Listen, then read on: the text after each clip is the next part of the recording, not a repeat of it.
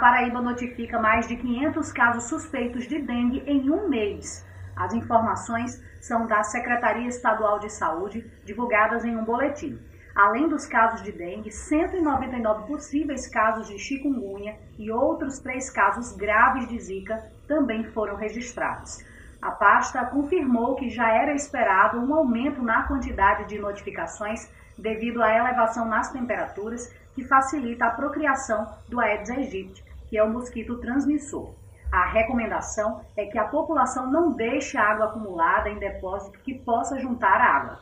Sueli Gonçalves, para o plantão da Câmara.